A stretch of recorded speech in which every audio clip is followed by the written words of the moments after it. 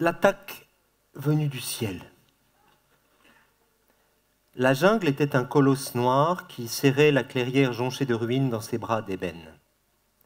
La lune n'était pas encore sortie. Les étoiles étaient des taches d'ambre ardentes dans un ciel qui empestait la mort et retenait son souffle. Conan le cimérien était assis au sommet de la pyramide, telle une statue de fer, menton en appui sur ses poings massifs. Des yeux rouges luisaient dans les ombres noires, d'où montaient des piétinements furtifs. Les morts gisaient là où ils étaient tombés. Mais sur le pont de la Tigresse, sur un bûcher de bancs brisés, de hampes de lance et de peaux de léopard, la reine de la côte noire dormait dans son dernier sommeil, enveloppée de la cape écarlate de Conan. Elle reposait telle une véritable reine, entourée des hôtes de son butin, soieries, tissus d'or, galons d'argent, tonnelets de gemmes et de pièces d'or, lingots d'argent, dagues incrustées de joyaux et des théocalices de plaques dorées. Quant au trésor de la cité maudite, seuls les eaux sinistres du fleuve Zarkeba auraient pu dire où Conan l'avait jeté en poussant des jurons impies. Euh, j'ai souhaité commencer par euh, cet extrait qui n'est pas un texte de Romain Bertrand, car il me semblait important que vous puissiez mesurer en quelque sorte ce à, quoi vous alliez euh, échapper ce soir. En effet, dans un premier temps, j'avais résolu de prendre la formule en fantaisie qui, dans les programmes du banquet, désigne ces soirées où l'auteur choisit de vous lire rigoureusement ce qu'il veut, de prendre cette formule donc littéralement et d'explorer avec vous les contrées de ce genre sous-estimé de l'héroïque fantasy, de vous conter donc des histoires de barbares, de trolls, de dragons et de nains. J'y ai renoncé. J'y ai renoncé pour deux raisons. D'une part parce que je craignais de ne pas parvenir à vous convaincre de la nécessité d'accueillir à la grâce des barbares, des trolls, des dragons et des nains. D'autre part, et même si j'aurais évidemment choisi des textes moins riches en adjectifs que celui par lequel j'ai commencé, j'avais envie d'aborder la question, notre question, celle de la transformation et de la transfiguration, par l'autre côté. Non par le côté des immenses sagas, mais par le petit bout, par le tout petit bout.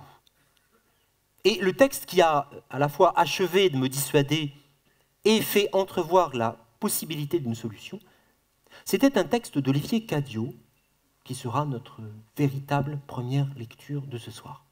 Ah oui, je, vais parler entre les textes, donc j'espère que vous allez vous y retrouver. on peut convenir d'un code. Euh, quand je suis mal à l'aise, je commence mes phrases par bon. Olivier Cadio, donc. Zeus. Il n'y a rien de plus barbant que la mythologie, la grecque, l'indienne, la nôtre. On ne peut pas supporter ces beuglements de demi-dieux sur les scènes, dans les églises ou dans les champs. Ça revient toujours périodiquement. Ça se calme pour un temps et ça revient toujours. La femme grenouille qui découpe son mari sous l'eau, celui qui a des problèmes avec sa mère et se crève un œil, tous ces gens qui se rendent les uns chez les autres pour emmerder le monde. Ça ne cesse pas. Des voyages interminables, des gens qui se parlent en hurlant sur des terrains en arc de cercle en plein soleil, des héros qui rêvent dans leur tente et qui racontent tout in extenso, c'est épuisant. Des personnages de pierre au nez brisé, un point dressé, stop il y a des moments où ça se calme. Les gens cessent de hurler, recouvrent des toiles avec de grands rectangles rouges ou des traces de pinceaux ivoire. Ils composent de la musique avec beaucoup de silence et certaines fois que du silence. Des écrivains écrivent très peu de mots sur des pages blanches. On souffle un peu. Ça ne dure qu'un temps. D'autres gens s'énervent, ce silence, ça leur donne envie de crier, ils se sentent muets, exclus, on les méprise, ah, ils encaissent, ils encaissent, c'est dur de ne pas être à la mode pendant une quasi-génération ou deux. À force, le camp adverse est devenu l'académie. Les différentes nouvelles vagues terminent au supermarché et les laissés pour contre partent à l'attaque. Ils reviennent, on se croirait dans une comédie musicale. Et l'humain, Et l'humain là-dedans, vous nous l'avez pris, c'est notre humain à nous, et nos poèmes, avec nos vraies émotions, et nos vies, et la transcendance, et ma grand-mère. Et on ressort les mégaphones, et voilà que ça regueule. Les autres reprennent sagement le chemin des chambres de bonne. On cherche un nouveau nom pour Underground, on se creuse, on trouvera. Et sur les scènes de théâtre, dans les livres, dans les espaces dévolus à l'art, au milieu des villes, sur les dépliants des magasins de livraison, c'est reparti, on se frotte les mains, on voit ressurgir les grands problèmes, la femme grenouille qui découpe son mari sous l'eau, celui qui a des embrouilles avec sa mère, et d'autres apparemment nouveaux, comme la sœur géante qui bégaye. Allons voir de près ces personnages mythologiques, c'est pour l'enquête, faut pas lâcher. Remontons la pente avant, à leur naissance, avant que ne commence leur destinée, les premières minutes où quelqu'un n'est pas encore un héros. Au moment où un inconnu, un beau matin, trouve le nom et la fonction d'une nouvelle divinité, Zeus, par exemple. Il vient d'où? Certains le signalent dans un village du Péloponnèse, allons-y. Fontaine splendide, adossée à une montagne, qui elle aussi a un nom de Dieu pour compliquer le récit. Tout le monde est Dieu ici. Le Père, le Mère, la Mère, la Source, l'Enfant, ça se multiplie. Déjà, la Trinité, ce n'est pas si simple. Ici, ils sont 50 000. Quel organigramme D'après Pausanias, c'est la source dans laquelle les nymphes Itome et Neda nourrissent de Zeus le lavèrent après que les curettes l'eurent soustrait à la barbarie de son père. Ça veut dire quoi? Plus loin dans ce guide assommant, on lit qu'il prit son nom de ce larcin. Le nom d'un larcin, c'est entortillé, c'est incompréhensible. Quel ennui, on est immédiatement perdu, on va s'endormir. Plongeons la tête dans le jet qui sort de ce trou de la montagne, on dirait une bouche obscure, bouche obscure, ça a donné le nom au village. Rien. Pas de panneau de verre pour guider les touristes innocents, une citerne avec presque rien, lierre et chèvrefeuille, des petits bassins de pierre pour recevoir l'eau qui jaillit depuis 2000 ans et à la bonne pression. Dans les bassins, deux pastèques sont en astante à rafraîchir, c'est tout un banc de pierre à demi encastré dans le tronc d'un arbre énorme. Deux tracteurs, l'un rouge, assez antique, et un vert plus gros et poussiéreux, garé le long du bassin. Son siège a été rafistolé avec des couvertures écossaises, nouées par des ficelles de nylon bleu. Zeus. Voilà un bon nom de tracteur. Il y a aussi Zetor, Belarus, Scania, même si ce dernier fait un peu plus nymphe. Il n'y a que des oliviers partout et rien d'autre. Pas un bruit. Personne ne hurle des paroles sacramentelles avec des porte-voix. Et pendant ce temps, les pastèques rafraîchissent. Bon, Ce texte de Cadio, vous l'aurez remarqué, répond d'une drôle de façon à la question qu'il pose. La question qu'il pose, c'est comment cesser d'être ballotté entre la mythologie et la littérature blanche. Il répond d'une façon très simple, par un choix, tout bête, comme on dirait trivialement, le choix de nous la faire courte. Vous connaissez la phrase de Woody Allen hein. Grâce à cette nouvelle méthode de lecture rapide, j'ai lu Guerre et en 20 minutes. Ça parle de la Russie. Eh bien, tout se passe comme si Cadio en faisait ici sonar poétique. L'origine des dieux, trois pages, deux pastèques, deux tracteurs, impeccable. Alors, il y aurait là une question intéressante. De quel genre de transformation et de transfiguration les petits textes sont-ils capables? Les petits textes, je veux dire les formes brèves, les nouvelles, les short stories, les short, short stories, une expression de Frederick Brown. Les drabbles. Vous savez ce que c'est qu'un drabble? C'est un roman en 100 mots exactement. C'est un genre littéraire qui fleurit sur Internet et j'ai appris que le nom est tiré d'un épisode des Monty Python, ce qui me ravit. Je voudrais vous proposer ce soir un petit voyage au pays des petites formes. Et vous proposez d'avancer au passage deux ou trois hypothèses sur leur puissance singulière de transfiguration. L'avantage, c'est que c'est une soirée pif gadget, tout en récit complet. S'il fallait lester la question de son poids de sérieux, écoutez ce qu'en disent Gilles Deleuze et Félix Guattari. Je cite L'essence de la nouvelle, comme genre littéraire, n'est pas très difficile à déterminer. Il y a nouvelle lorsque tout est organisé autour de la question qu'est-ce qui s'est passé? Qu'est-ce qui a bien pu se passer? Le conte est le contraire de la nouvelle parce qu'il tient le lecteur haletant sous une toute autre question qu'est-ce qui va se passer? Toujours quelque chose va arriver, va se passer. Quant au roman, lui, il s'y passe toujours quelque chose, bien que le roman intègre dans la variation de son perpétuel présent des éléments de nouvelles et de contes. Qu'on ne pense pas qu'il est plus facile de tout laisser dans le vague, qu'il se soit passé quelque chose, même plusieurs choses successives qu'on ne saura jamais, n'exige pas moins de minutie et de précision que l'autre cas où l'auteur doit inventer en détail ce qu'il faudra savoir. On ne saura jamais ce qui vient de se passer, on va toujours savoir ce qui se passera. Tels sont les deux allaitements différents du lecteur face à la nouvelle et au conte. La nouvelle est toujours une dernière nouvelle, tandis que le conte est un premier conte. C'est beau, mais on les sent embarrassés. Et on comprend qu'ils soient embarrassés, puisque au fond, s'il faut, pour se transformer, s'il faut durer, si c'est la durée même qui est transformatrice, si, pour reprendre la formule de Bergson, dont toute l'œuvre de Gilles Deleuze n'est en un sens que le commentaire, il faut attendre que le sucre fonde. Si c'est la durée donc qui transforme, comment comprendre que Kafka ait donné à la métamorphose l'allure d'un texte de dix pages En tout cas, moi, elle me parle, cette question. Pour une raison sans doute personnelle. Euh, le soir, c'est le temps des confidences. En littérature, c'est là que j'habite. Et c'est la faute à mon prof de français. Mon prof de français, grâce lui soit rendue, qui, au lieu de nous faire lire Balzac ou Flaubert, nous aiguillonnait avec des textes légers. Légers comme des mouches de pêcheurs. Des textes, tenez, comme celui-ci. Ah, une précision de vocabulaire, un creek en Californie, c'est un ruisseau encaissé.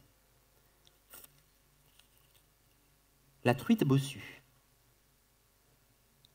Un petit bouquet d'arbres verts très serrés rétrécissait le lit du creek. Ce creek était comme 12 845 cabines téléphoniques en rang avec de hauts plafonds victoriens et toutes les portes enlevées et tous les fonds des cabines défoncés. Parfois, quand je pêchais là, je me faisais l'effet d'un dépanneur de téléphone, même si je n'en avais pas l'allure. Je n'étais qu'un gamin, avec son attirail de pêche, mais par quelques mystérieuses opérations, en allant pêcher ces truites, là, c'est moi qui faisais marcher les téléphones. J'étais à mettre à l'actif de la société. C'était agréable, mais cela parfois me mettait mal à l'aise. Là-haut, la nuit tombait d'un seul coup lorsque le ciel était nuageux et que ces nuages masquaient le soleil. Alors, il fallait presque pêcher à la lueur d'une bougie et il fallait des réflexes comme l'éclair. Un jour que j'étais là-haut, il s'est mis à pleuvoir. Le temps était lourd, bouché. Je jouais les prolongations, j'ai attrapé sept truites en un quart d'heure. Dans leur petite cabine téléphonique, ces truites étaient braves. Il y en avait plein de petites finaudes, entre 6 et 8 pouces de long, exactement ce qu'il fallait pour sauter à la poêle, le genre communication locale. Parfois, je voyais de grosses truites dans les 11 pouces, les appels à longue distance. J'ai toujours aimé ces petites truites hardies. Elles livrent un combat acharné, elles filent au fond, puis sautent brusquement. Je me souviens de cet après-midi où j'ai attrapé la truite bossue. Un fermier m'avait amené jusque-là dans son camion, il m'avait pris au stop à côté d'un champ de haricots et ne m'avait pas dit un mot tout au long de la route. Pour lui, S'arrêter, me faire monter et me conduire jusqu'ici, c'était automatique, comme de fermer la porte de sa grange. Il n'y avait rien à en dire. N'empêche que je me déplaçais à 60 à l'heure, en regardant défiler les maisons, les petits bois, les poules, les boîtes aux lettres. Puis il n'y a plus de maison, je lui ai dit c'est là que je descends.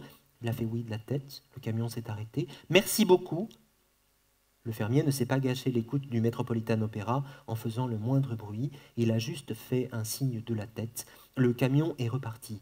Ce fermier, il aurait pu poser comme enseigne pour le vieux fermier silencieux véritable.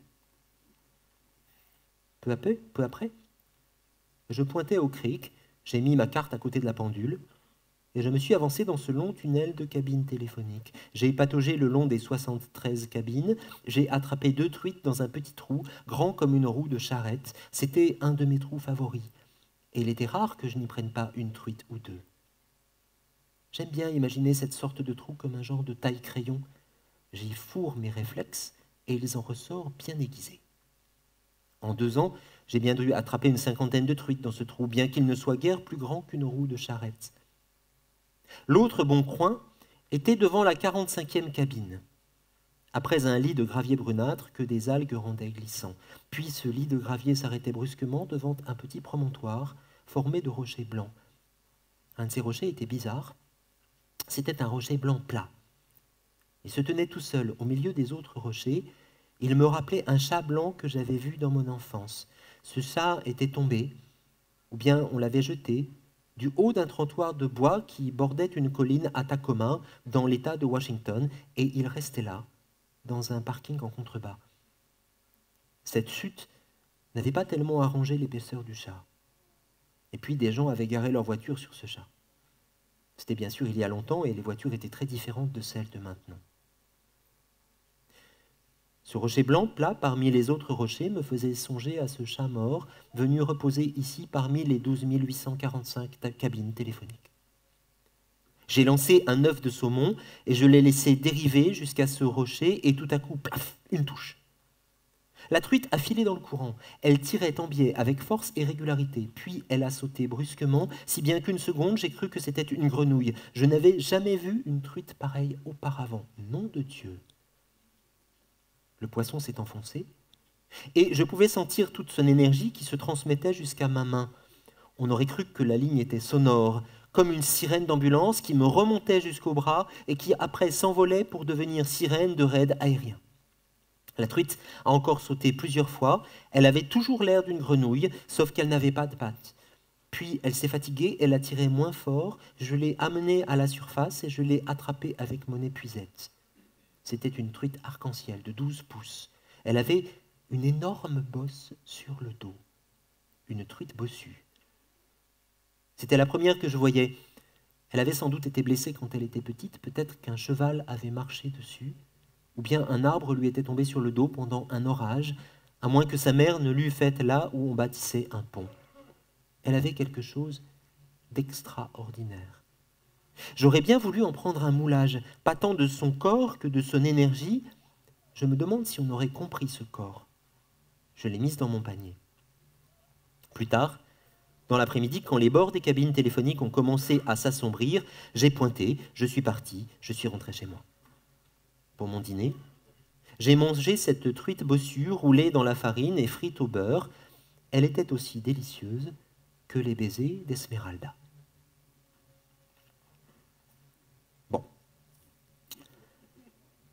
Si j'y réfléchis, ce qui m'émeut chez Richard Brotigan, c'était Richard Brotigan.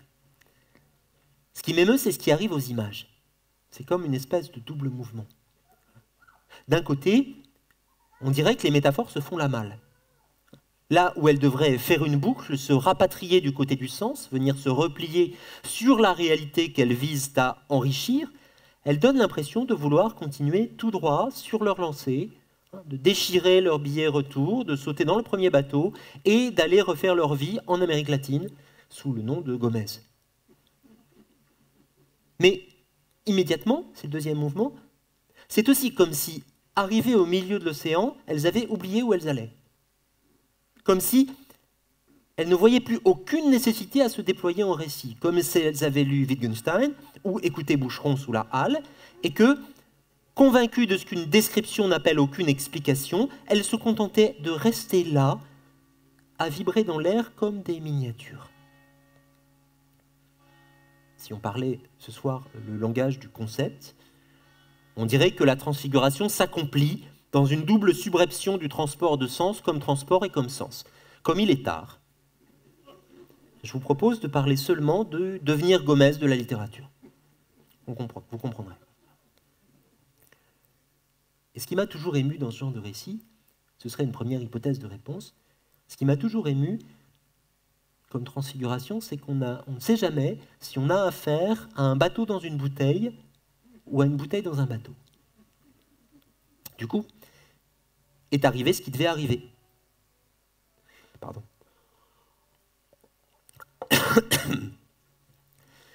Lorsqu'il s'est agi à mon tour de me mettre à écrire des choses, c'est vers ce genre de texte que je suis allé. Parce que non seulement je ne fais pas ce que j'avais dit que je ferais, non seulement je euh, parle entre les lectures, mais en plus je vais mélanger des textes à moi avec des chefs-d'œuvre. D'un côté, il y a des gens qui font des selfies devant la Joconde. Hein, euh, les gens sont incroyables. Deux textes. Pôle Sud. Lorsqu'en 1912, l'expédition Scott atteignit le pôle Sud, le drapeau d'Amundsen les avait précédés, fiché tout droit sur le point magnétique comme l'axe d'une map monde. Visible, visible j'imagine, au tout dernier moment, dans des hurlements de neige, alors qu'une moufle impatiente avait commencé, dans l'un des traîneaux de l'arrière, à défaire le paquet oblong contenant le drapeau britannique, le drapeau Scott, désormais inutile. Pas de drapeau pour les seconds. Pas de médaille d'argent dans la conquête des pôles. Sur une photographie, on voit, figure obligée de l'imagerie exploratrice, Scott et son expédition posés devant le drapeau. Mais leurs traits sont tirés parce que ce drapeau n'est pas le leur, parce que cette victoire est leur défaite, parce qu'ils avaient cru marcher sur un espace vierge et qu'une frontière déjà les attendait il fallut repartir. Amundsen, dans un trait de férocité inouïe, leur avait laissé une lettre les enjoignant de porter au monde la nouvelle de son exploit, à lui, puisque lui-même pensait s'attarder un peu sur le chemin et qu'il serait sans doute revenu avant lui. Sur la route du retour, soufflés par cette lettre, ils y passèrent tous. Des kilomètres plus loin, ils en mouraient encore. C'est que, durant l'étape, le bout traînant de ce qui les maintenait en vie, c'était, sous l'effet d'un coupe de vent, enroulé sur la hampe du drapeau d'Amundsen. S'éloignant du pôle, chaque pas les faisait glisser davantage le long de cette corde invisible, et ils finirent par tomber hors de la vie, comme une perle se dégage de son fil, de côté, avec un petit bruit sec. Parce que la glace conserve tout, transforme l'histoire en géographie, on les retrouva morts sur le tracé de cette ligne absente. Leur corps ressemblait à de petits morceaux de gaines électriques ou à n'importe quoi de creux et d'induré. Le tort de Scott, on le sut plus tard, fut de préférer contre la vie de tous les poneys aux chiens de traîneau. Plus robustes, mais moins rapides et résistants, les poneys ralentirent l'allée et transformèrent le retour en désastre. Parce que la glace ne conserve pas les paroles, il reste à imaginer la façon dont, à mesure que la catastrophe devenait patente, on débattit de cette option, on la défendit, on s'y accrocha comme au meilleur choix possible, les poneys tout de même. Chacun s'imprégna de cette certitude, trouva en sa faveur d'imparables arguments, des raisons décisives, jusqu'à faire lever, loin devant le traîneau de tête, une seconde colonne de poneys transparents, indestructibles, soutenant de leur pas égal les trébuchements des bêtes et des hommes. La nuit polaire enveloppa l'expédition Scott, mais celle-ci laissa derrière elle, en guise de contribution à l'écosystème et à l'histoire de nos défaites, tout un troupeau fantôme de poneys argumentatifs. Quelques chercheurs racontent que, dans les baraquements de tôle de la terre Adélie, on entend certains soirs d'insomnie comme un bruit de sabots. Sinon, vous, ça va? Un deuxième. Une lecture.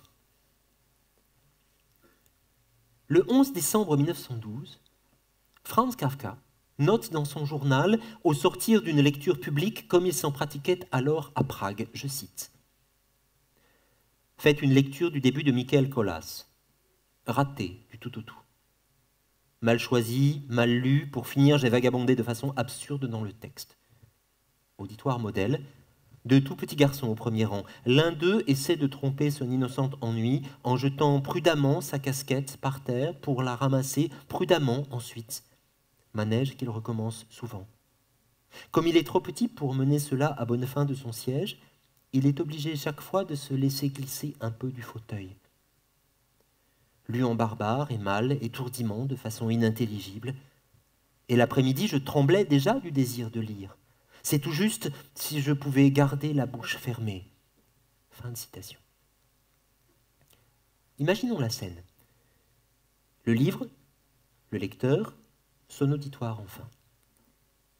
Pour cette lecture, Kafka a choisi non pas l'un de ses textes, mais un court roman de Kleist, l'auteur de La Marquise d'eau. Situé vers le milieu du XVIe siècle, l'intrigue en est fort simple. Un marchand de chevaux nommé Michael Colhas voit un jour, au moment de franchir une frontière, deux de ses animaux retenus, confisqués par le prévôt du lieu.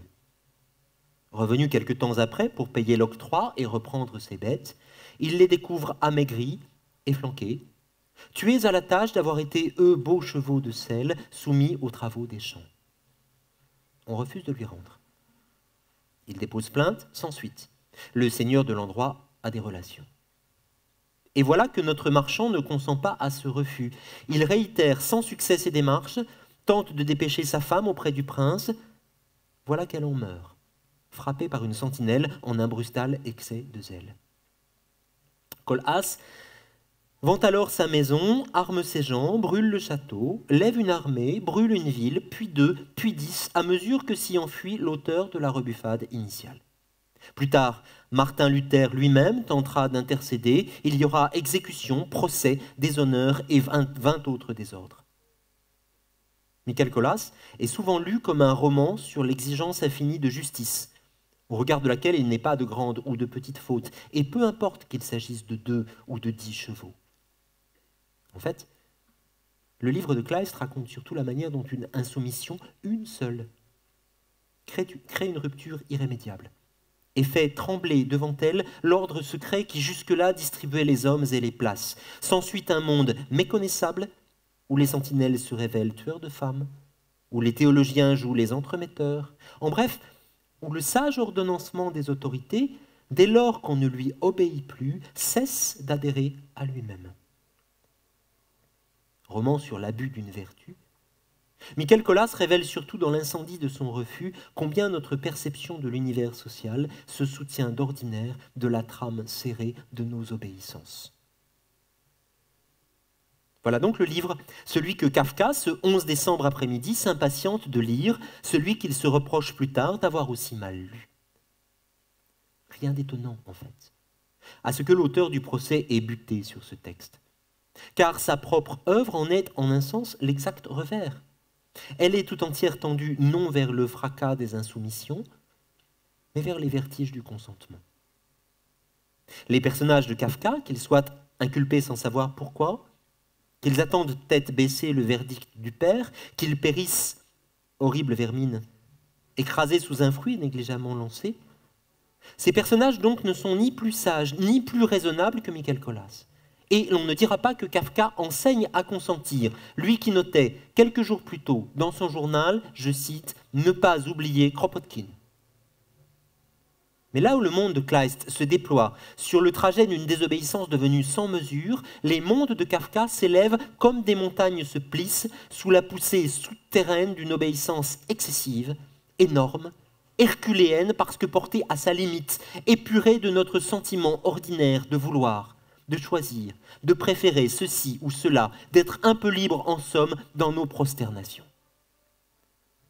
Si Kafka désespère de lire Kleist, si ce conte de révolte lui écorche la bouche, c'est qu'il s'acharne, lui, à comprendre au contraire combien le seul fait quotidien d'obéir enveloppe déjà de mystères et de gouffres.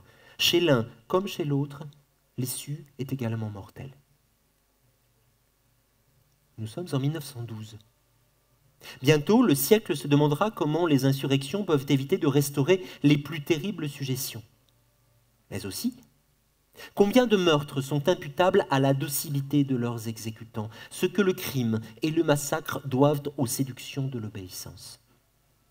Pour l'instant, dans la petite salle pragoise, l'orateur trébuche sur son texte devant un auditoire modèle, un petit garçon tout de même, gigote, jette en doute sa, douce sa casquette, la ramasse en matière de jeu. Sous les puissances adverbes de ce texte et de cette voix, sentant peut-être les tragédies qu'elles promettent ensemble, il n'obéit ni ne transgresse, il se tire-bouchonne. Il aplatit les fesses, glisse au bas de son fauteuil, produit une mince agitation qui suffit en un sens à sauver la lecture. Il invente une posture oblique, prudemment, répète Kafka comme pour lui souhaiter bonne chance. Sa désobéissance est plus qu'un art d'enfant, elle est sa façon de survivre.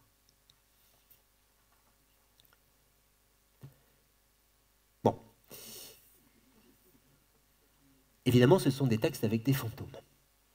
Mais, si je devais formuler une hypothèse un peu générale, une deuxième, après l'hypothèse du devenir Gomez de la littérature, je dirais tous les textes courts sont des textes avec des fantômes. Ils le sont parce qu'ils transportent avec eux le fantôme du roman qu'ils auraient pu devenir. Et si les textes brefs ont une affinité avec la transformation et la transfiguration, ce n'est pas seulement parce qu'ils portent la frappe de ce qui s'est passé, comme disent Deleuze et Guattari. C'est parce qu'ils portent aussi témoignage pour ce qui aurait pu être, pour le possible, demeurer possible. Pas nécessairement d'ailleurs sous la forme du regret, au contraire, rien ne manque, il ne leur manque rien. Mais par une sorte d'obstination à demeurer petit. Écoutez ce qu'en dit le poète suisse Norge. Une brute, s'écriait Louise. Ma fille est une brute et n'arrivera jamais à rien. Louise était une huître. Et sa fille Lola n'avait pas même un commencement de perles. Pourquoi? Ça, Lola le savait bien, mais trop fière pour le dire à sa mère. Oh, c'est bête. Lola voulait être aimée pour elle-même. Et écoutez ce que dit sur la même question L'écrivain israélien Alex Epstein, que je dois à Laurence Potbonneville d'avoir découvert comme tant d'émerveillement, quand je commence à écrire une histoire très courte, je l'imagine toujours comme un roman. Et dans un univers parallèle, il existe peut-être un écrivain fou qui est actuellement en train d'écrire ses romans. Alors, lisons un peu Alex Epstein. la force de la pesanteur. Ma grand-mère Rosa, c'est une histoire où j'ai changé quelques détails, a embrassé Yuri Gagarin dans un ascenseur de Moscou en 1961. Mais ce n'était pas Gagarine, ni dans un ascenseur, et en 1961, ma grand-mère habitait déjà à Saint-Pétersbourg. Dans mon enfance, j'ai vu plus d'une fois mon grand-père planer à ses côtés, à quelques centimètres du parquet. Je n'ai jamais vu personne planer plus haut. raccourci vers la maison. Nous avons trouvé dans une librairie d'occasion un vieux livre dans notre langue. Ici, dans toutes les petites villes, il pleuviote sans arrêt. Le technicien de la machine à remonter le temps a appelé pour dire qu'il serait en retard. Notre vie continue.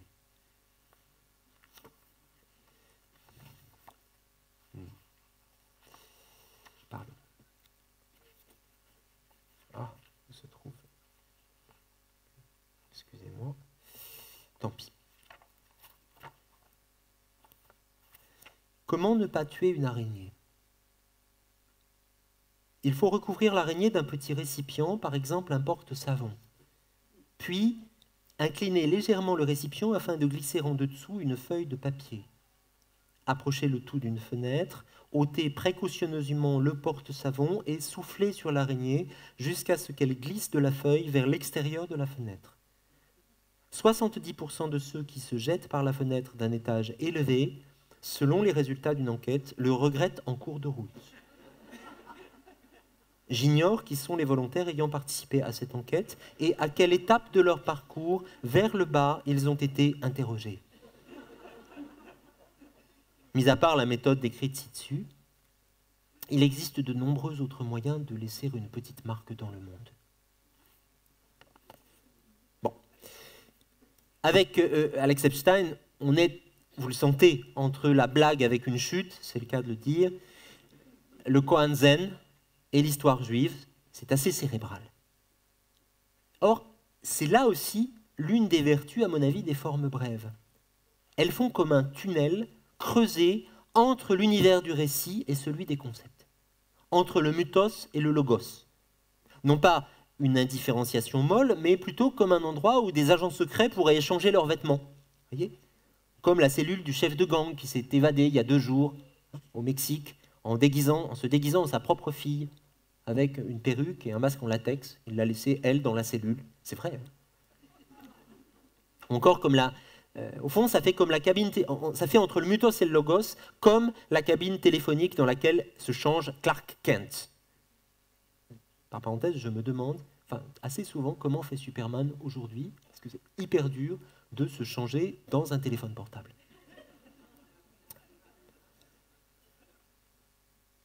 Un exemple de ce tunnel. Celui-là, je l'emprunte à, à Giorgio Agamben. C'est du sérieux.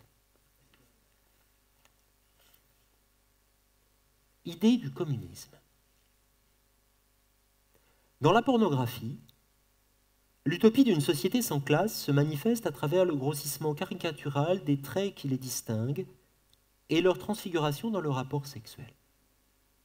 Nulle part ailleurs, pas même dans les mascarades du carnaval, on insiste avec une pareille obstination sur les signes de classe dans l'habillement, au moment précis où la situation permet de les transgresser et de les abolir de la façon la plus incongrue les coiffes et les tabliers des femmes de chambre, la combinaison de l'ouvrier, les gants blancs et les galons du majordome, et même plus récemment les blouses et les masques des infirmières, célèbrent leur apothéose à l'instant où, déposés comme d'étranges amulettes sur des corps nus inextricablement mêlés, ils semblent annoncer avec la stridence d'une trompette de ce dernier jour, ce dernier jour, où ils devront apparaître comme les emblèmes d'une communauté dont nous ne savons encore déchiffrer aucun des signes annonciateurs.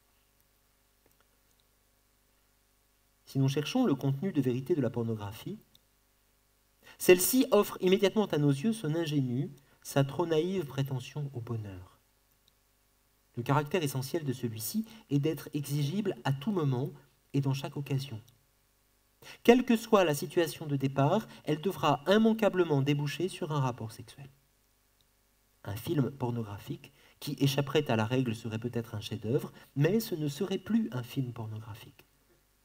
Dans ce sens, le striptease est le modèle de toute intrigue pornographique. Au départ, nous avons toujours et uniquement des gens vêtus dans une situation quelconque. Et le seul imprévu possible est la façon dont ces gens devront se retrouver à la fin dans le plus simple appareil. Et voici dévoilé du même coup le second caractère essentiel de la pornographie. Le bonheur qu'elle exhibe est toujours anecdotique, c'est toujours une histoire et une occasion qu'on saisit, jamais une condition naturelle, jamais quelque chose de déjà donné. Le naturisme, qui ne fait que supprimer les vêtements, est depuis toujours l'adversaire le plus acharné de la pornographie. Et de même qu'un film pornographique sans événements sexuels n'aurait aucun sens, on pourrait difficilement qualifier de pornographique la pure et simple exhibition des organes sexuels de l'homme montrer le potentiel de bonheur présent dans la moindre situation quotidienne et partout où il y a société humaine, c'est là l'éternelle raison politique de la pornographie. Mais son contenu de vérité, qui la situe aux antipodes des corps nus qui peuplent l'art monumental fin de siècle, est qu'elle ne transporte pas le quotidien dans le ciel éternel du plaisir, mais qu'elle exhibe plutôt l'irrémédiable caractère épisodique de tout plaisir, l'intime digression de tout universel. Il apparaîtra alors que le monde possède depuis toujours le rêve d'une chose dont il suffit de posséder la conscience pour la posséder vraiment. C'est une citation de Marx, mais comme Agamben est un peu snob, il ne cite pas. Certes. Mais comment se possèdent les rêves? Où sont-ils gardés? Car il ne s'agit pas ici naturellement de réaliser quelque chose. Rien n'est plus ennuyeux qu'un homme qui a réalisé ses rêves. C'est le zèle social-démocrate et niais de la pornographie. Mais il ne s'agit pas davantage de conserver dans des chambres d'albâtre, intouchables et couronnées de roses et de jasmin, des idéaux qui se briseraient en devenant des choses. C'est là le cynisme secret du rêveur. Baslen disait Ce que nous avons rêvé, nous l'avons déjà eu. Il y a si longtemps que nous n'en avons pas le souvenir. Non pas dans un passé, nous en avons perdu les registres. Les rêves et les désirs inaccomplis de l'humanité sont plutôt les membres patients de la résurrection, toujours sur le point de se réveiller dans la lumière du jugement dernier. Ils ne dorment donc pas à l'intérieur d'un précieux mausolée, mais ils demeurent cloués comme des astres vivants dans le ciel lointain du langage, dont nous déchiffrons à peine les constellations, et cela, au moins, nous ne l'avons pas rêvé. Savoir saisir les étoiles qui tombent du firmament jamais rêvé de l'humanité, telle est la tâche du communisme.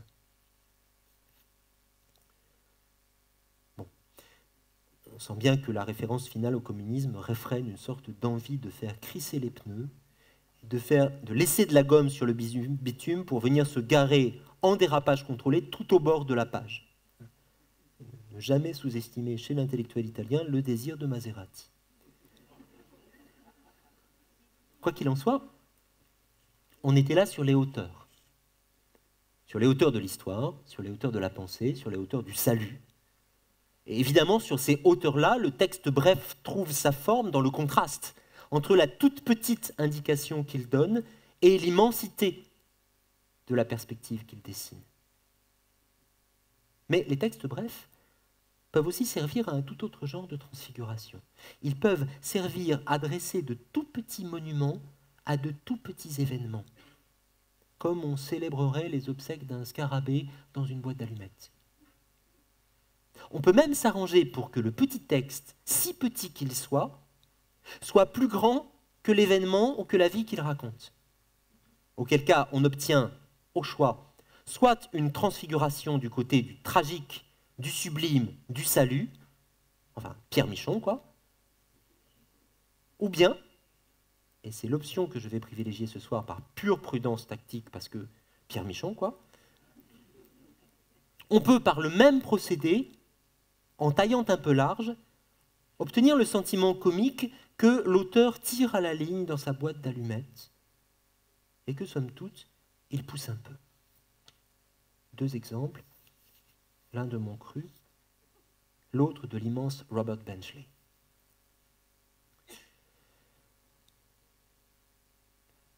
Frigo, cuillère.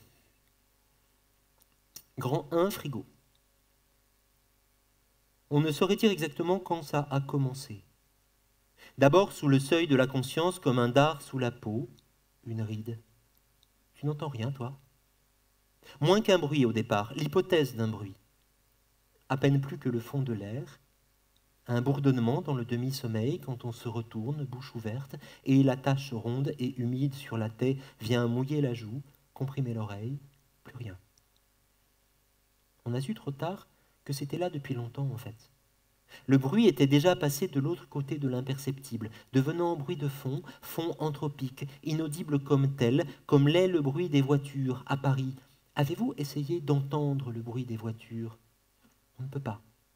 On vit avec, mais ça fatigue. Désormais, les répits seront rares. On ne peut compter que sur de légers mieux, des périodes d'euphorie passagère, logées dans l'intervalle étroit qui sépare le moment de l'oubli de celui où la conscience de cet oubli le condamne aussitôt à l'échec. Des explosions, à l'inverse, brusques quintes de tout, en pleine nuit, qui soulagent, parce qu'enfin c'est là, et qu'on peut écouter, raisonner, jouir du silence qui vient ensuite, comme l'on dit que la santé est la vie dans le silence des organes. Globalement, cela ne va pas s'améliorer. On tentera de s'y faire, mais on ne peut pas, le bruit demeure sur la bordure, toujours une nouvelle intensité, le reflet de rien sur sa surface. Qu'est-ce que c'était? Excuse-moi. Et les conversations ainsi tourneront court, d'avoir cru entendre quelque chose, un marmonnement varié, vaguement, le bruit que fait le frigo. Grande cuillère. C'est une grande cuillère à soupe en métal argenté plus lourd et raide que celles en inox qui se tordent trop facilement et glissent, au fond de la fissure avec un bruit sans gaieté. Où l'a-t-on appris Qu'il faut loger une cuillère le long du frigo, serrée, bondée de l'autre côté par le rebord émaillé de la cuisinière pour faire ressort, pour que les vibrations qui parcourent la surface autrefois blanche, il y aurait à dire sur les portes de frigo, sur leur manière de se gâcher et de se maculer, sur la déception qui s'ensuit, que les vibrations donc se propagent et se perdent dans les autres meubles, sous l'évier, sous la maison, vers le monde et la mer. L'exécrable optimisme de tout cela. Malgré de légères craintes nocturnes relatives à l'éventualité de voir la vibration se répandre sans proportionnellement diminuer, hantise compréhensible chez qui ne peut totalement croire aux effets conjugués de l'ouverture au monde et de la dispersion du mal, on essaie quand même. Grand 3. Bilan et perspective. La vie se peuple. L'amélioration acoustique n'est pas notable mais suffisante tout juste pour maintenir le principe du procédé, dont l'utilité principale est ailleurs, dans sa manière de donner corps à l'agitation dont de toute façon on était parcouru. Dans les intermèdes qu'il autorise, l'invité Je me suis permis de retirer une cuillère qui s'était coincée. Le conjoint En tirant le frigo, quelque chose est tombé derrière. Dans les petites attentions qu'il requiert, chaque jour, plusieurs fois, à l'occasion de déplacements dans la cuisine qui perdent peu à peu leurs justifications extrinsèques, replacer la cuillère avec des gestes de curiste, la détordre. Lorsque sa courbure ne lui permet plus de faire convenablement son office, inconvénient de plus en plus fréquent à mesure qu'elle prend le pli, aurait-on cru cela du métal argenté, mais on ne va pas changer de cuillère. Essayez de trouver du doliprane. Poussez le frigo, car le conjoint, en tirant le frigo, quelque chose est tombé derrière.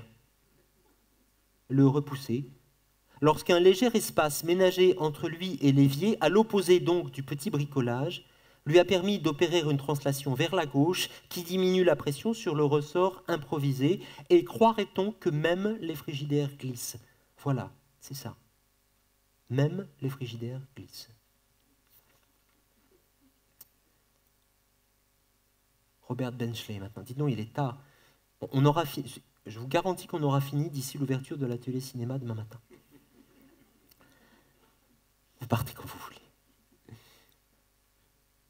De Robert Benchley, Le supplice des week-ends.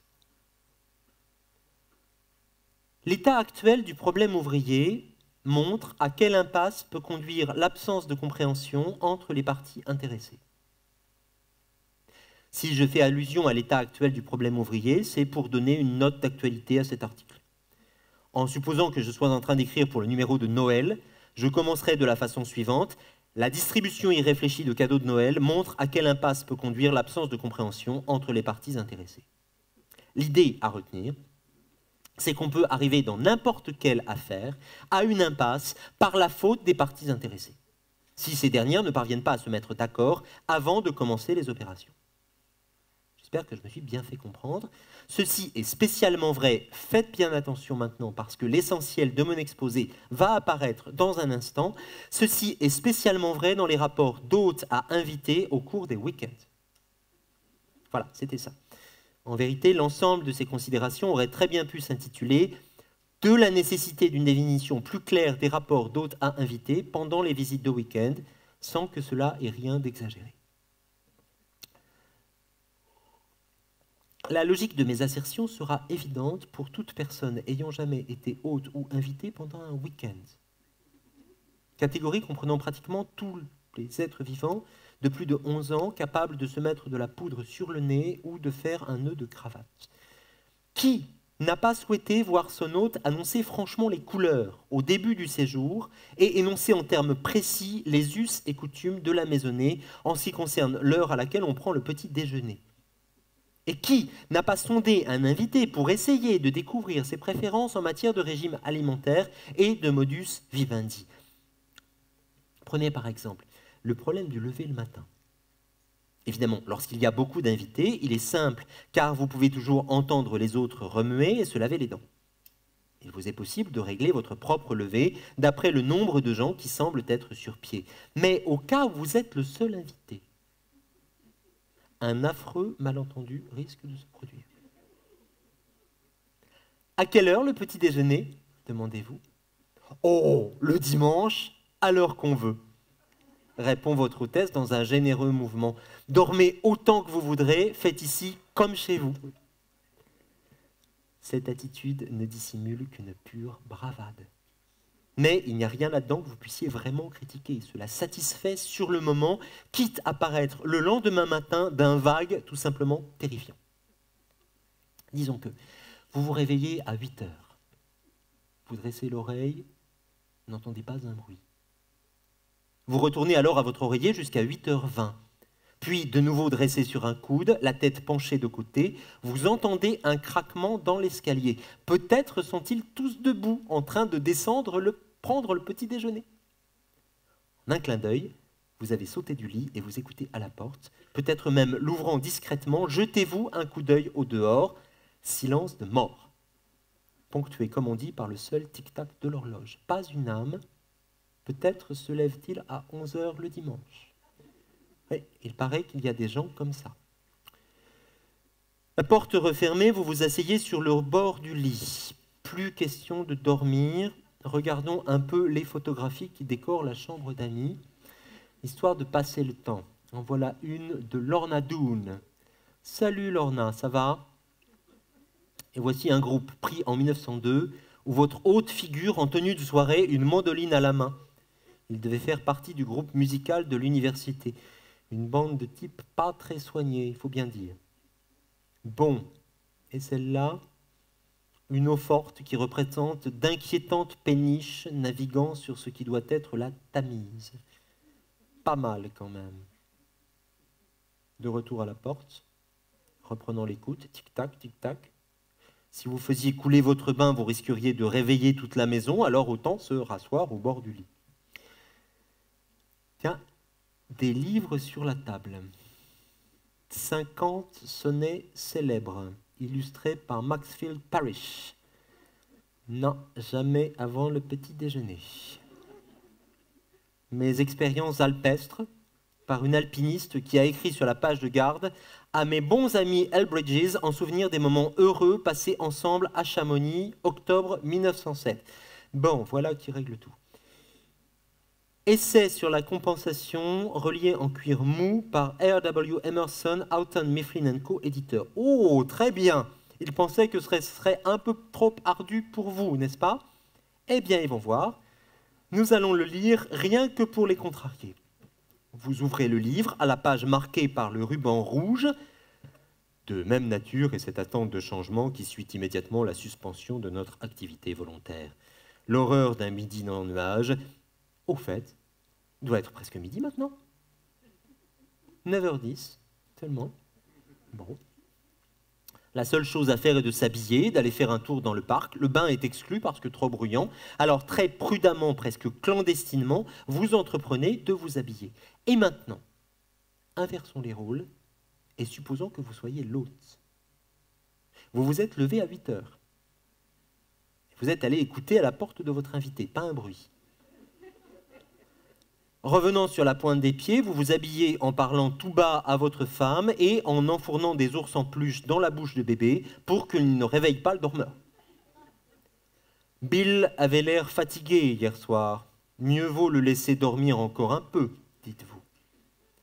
Sur quoi vous descendez avec des ruses de Sioux, vous jetez un coup d'œil aux journaux du dimanche, puis vous faites un demi-tour, un petit tour revigorant sur la véranda, d'où vous rentrez avec une faim de loup d'œil sur votre montre qui marque 9 heures.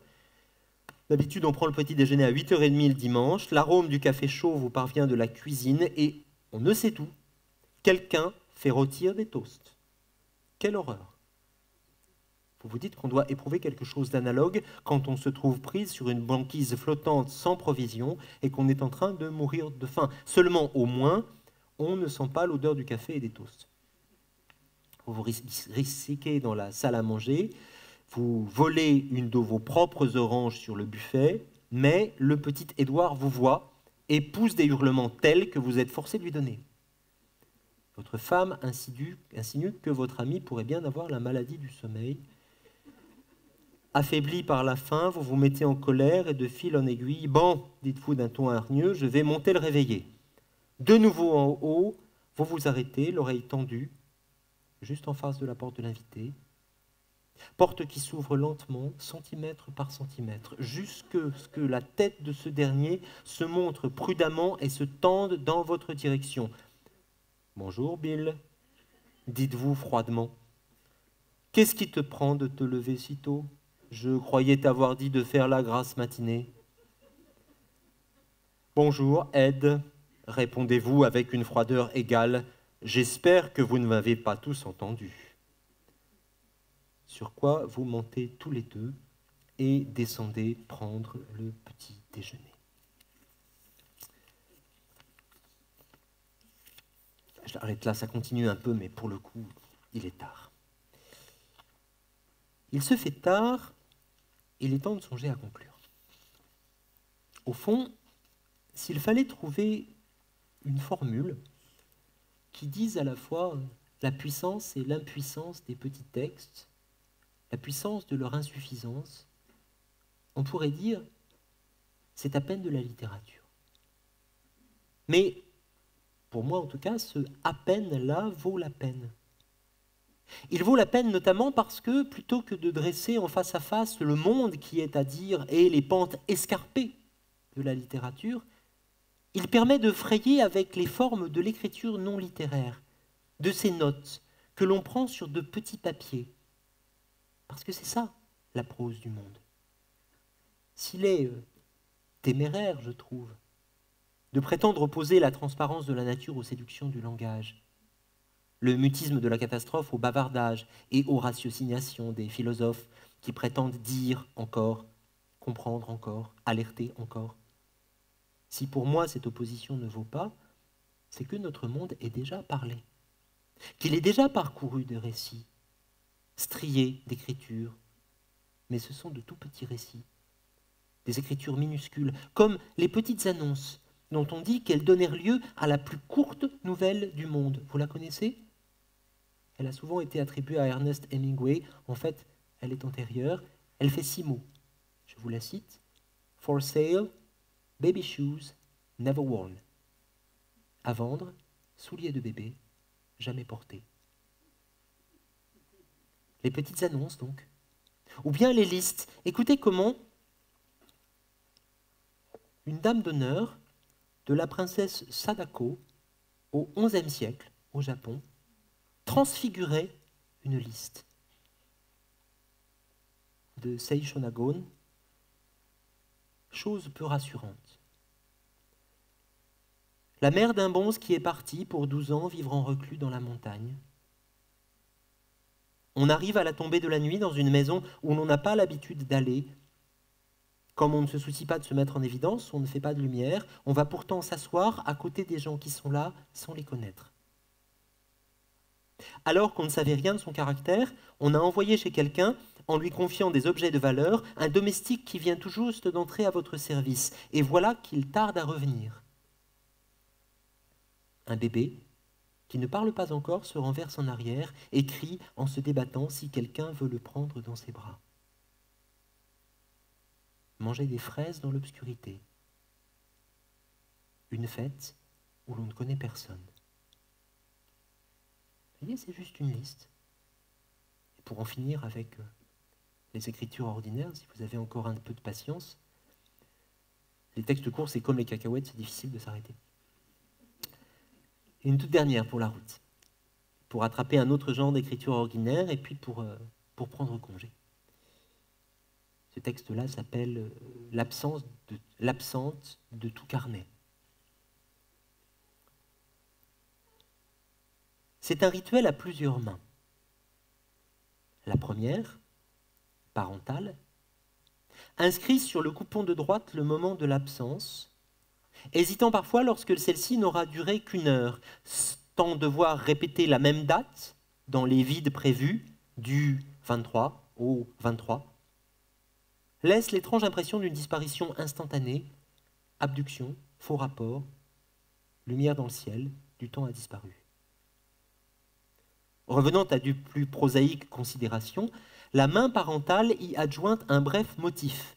Gastro, retard de bus, réunion familiale, entendre ici une fête, mais les familles font plus sérieux. Une autre main, surveillante, plus tard, emportera le coupon vers d'improbables registres, reportant les indications qui s'y trouvent inscrites sur le talon de gauche. Celui-ci demeure pris dans le carnet de correspondance, le demi-cercle d'un tampon faisant encore signe vers la moitié manquante. Dûment exécutées, ces opérations visent à s'équilibrer exactement, comme les deux colonnes d'un bilan comptable. Le billet coupon de droite rétablit la présence administrative de l'élève dans les registres d'appel où elle faisait défaut, mais sa découpe, talon de gauche, atteste qu'il y eut bien défection, dont la justification ne vaut pas pour autant effacement, une dentelure demeure, comme un accroc dans le déroulement des jours de classe. Puissance de la métonymie, si ponctuellement le billet excuse l'absence, l'absence du billet accuse, elle, et fait histoire. Sa multiplication peu à peu creuse un vide, comme un chéquier édenté signale une dilapidation que l'on n'oubliera pas. Encore? C'est la troisième fois cette fois-ci, ce mois-ci? Selon la même logique qui anime depuis le XIXe siècle tant de livrets, carnets, casiers, relevés, cahiers, bulletins, un même document peut ainsi extraire de la régularisation administrative une régularité d'un autre genre, celle d'une scolarité normale ou en dents de scie. Chaque coupon retiré rendant plus embarrassant de remplir le suivant et plus exigeant l'énoncé de ses motifs. À l'horizon, flotte le spectre de ces absences que rien n'excuse plus, de cet absentéisme que tous les quatre matins des politiques soucieux de comptabilité se promettent de faire payer aux familles défaillantes, laissant à croire qu'ici aussi, l'irrégularité est affaire de papier manquant. Il est d'autant plus remarquable que, de ce dispositif auquel de droit rien n'échappe, ait pu naître chez tous, chez nous, un même rêve, parfois exprimé dans cette plaisanterie d'adultes saisis par la fatigue, par le désir de rester s'embrasser ou l'envie de faire défection, tu ne peux pas me faire un mot. N'y va pas ce matin. Si tu veux, je te fais un mot. Fantasme d'anciens élèves dont la vie n'a au fond jamais cessé d'être soumise au jeu des justifications Rêverie de sujets si profondément administrés qu'ils ne sauraient s'autoriser d'écart s'ils n'y étaient d'abord autorisés Soyons plus indulgents. Il y a là plus sûrement la trace d'un émerveillement ancien, à découvrir que le mot, s'il assigne, peut aussi excuser. Ainsi, l'écriture, le nom du Père, dont une certaine version de la psychanalyse nous apprend qu'ils circonscrivent notre présence au monde, peuvent être retournés de manière à n'y être pour personne et jouer comme à contre-enfance. On m'a dit qu'à la mort de mon oncle, ses proches retrouvèrent, serré dans ses papiers comme Pascal cousit sa nuit à la doublure de son manteau, un lot de Bristol ancien, rédigé d'une main imitant la graphie de ma grand-mère, et formulé ainsi, avec deux L. Je vous prie d'excuser l'absence de mon fils Roger, il s'était démis la rotule. À ce compte, on peut corriger, redresser du côté de la vie la formule tragique de Maurice Blanchot qui fait de toute œuvre littéraire la mort de son auteur, congédié, exclu de ses écrits, banni à jamais par la souveraineté de la lettre, et dire plus doucement, l'origine de la fiction, c'est un billet d'absence. Merci, bonne soirée.